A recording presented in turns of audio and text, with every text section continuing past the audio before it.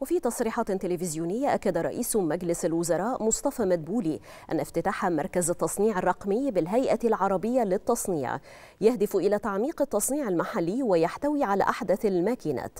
أوضح مدبولي أن المركز يعمل على تصنيع مضخات وطلمبات المياه التي تستخدم في مشروعات الصرف الصحي. افتتاح هذا المركز شديد الأهمية لتعميق وتوطين الصناعة المحلية وهو الهدف اللي يعني وجه بيه فخامة الرئيس عبد الفتاح السيسي الحكومة وكل أجهزة الدولة إن إحنا نشتغل عليه.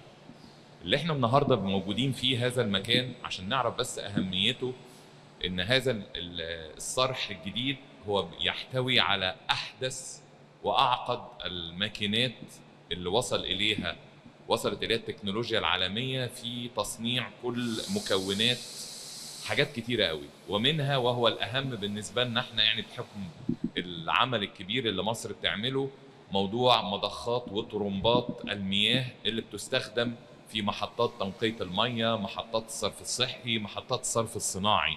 وده طبعا يعني في إطار طبعا المشروع القرن مبادرة حياة كريمة.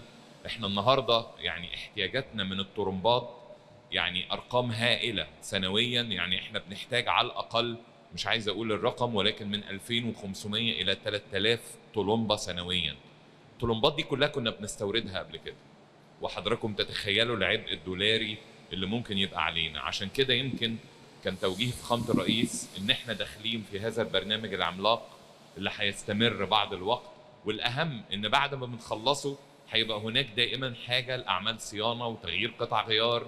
وتجديد وإحلال للطلمبات فمش هينفع إن إحنا نفضل نعتمد على المكون الأجنبي.